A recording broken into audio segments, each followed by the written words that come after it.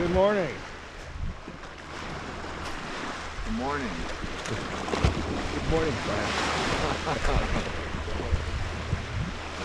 oh, it's a beautiful morning in Illinois State Beach Park. Got all the words in it. Illinois Beach State Park. Yes. We got woken up by coyotes this morning. That was it. That was the thing I wanted to talk about. The coyotes. God, that was so neat. All night long.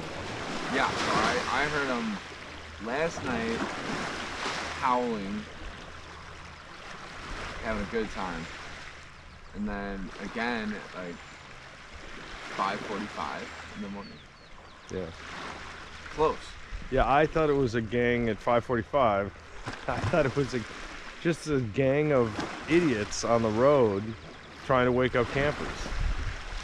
And I thought, wow, they really made a big effort to get up this early to wake us up. and it was the coyotes. Howling and howling and howling. And they're close. They've got to be like right over by the antenna on the electrical equipment.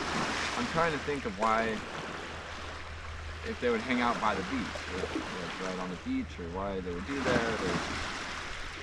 I don't know.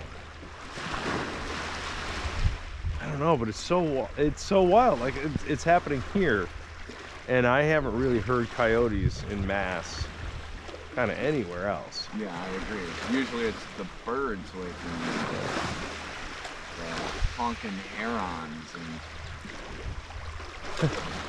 Yeah, that's right. The pterodactyls of Channel Lakes. yeah.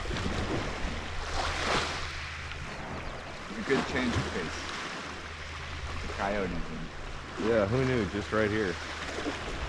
A uh, little history for us. We this is the first spot that we wanted to get to this year, and it's been closed down for damage. And uh, they finally just opened up, and here we are.